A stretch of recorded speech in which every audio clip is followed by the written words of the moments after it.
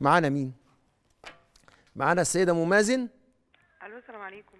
عليكم السلام ورحمة الله إزيك وبركاته. يا شيخ؟ عامل إيه؟ أخبارك؟ نعم وفضل الحمد لله. دايما يا رب في نعمة يا رب. أنا يا. بحاول أتواصل مع حضرتك على صفحة صفحة البرنامج بس بصراحة ربنا مش عارفة خالص. أنت حضرتك. متواصلة معايا مباشر أهو. اتفضلي عشان وقتنا. ماشي okay. بص حضرتك معلش يعني وسع صدرك شوية.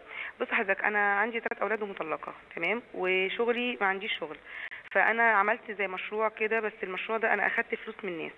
تمام؟ الفلوس ديت مبلغ يعني مب... خمسين ألف مثلا وبدفع عليهم شهريا ألف جنيه. الناس دي بتديني الفلوس دي على أساس إن أنا شغالها لها. تمام؟ والألف جنيه ديت بياخدوا مني كل شهر. مكسب كسبت أو خسرت بياخدوا الألف جنيه. تمام؟ فأنا بشتغل بيهم في القسط. فأنا دلوقتي بتعامل بالقسط مع الناس بديهم بفايدة آه 35% مين حضرتك؟ حضرتك بتديهم فايدة باعتبارك إيه؟ لا يعني أنا ب... أنا بدي لمين بالظبط انت بتديهم بتقولي أنا بديهم فايدة بتديهم فايدة ليه؟ فايدة ده مصطلح بيستخدم مع الديون. انت مش بتقولي ان انت بت...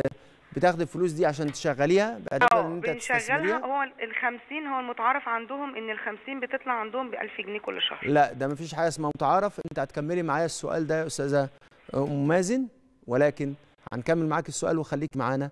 ولكن هنخرج فاصل ونرجع لحضراتكم مرة تانية عشان نكمل مع أم مازن اسئلتها ونتلقى أسئلتكم أسئلتها وكمان نتلقى أسئلتكم المباركه ونجاوب ونجيب عليها ولكن بعد الفاصل.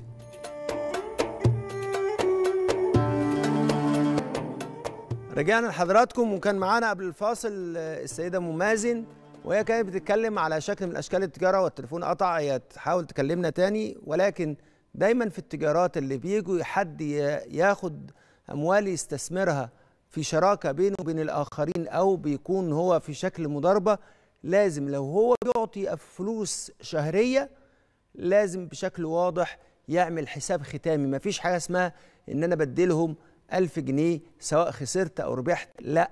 إحنا بديلهم فلوس على إجمالي العمل طول السنة ولو اديتهم فلوس تحت الحساب في الآخر خالص لازم أعمل حساب ختامي أشوف هم خدوا قد إيه من ما يساوي أرباحهم في مما أخذوه كل شهر.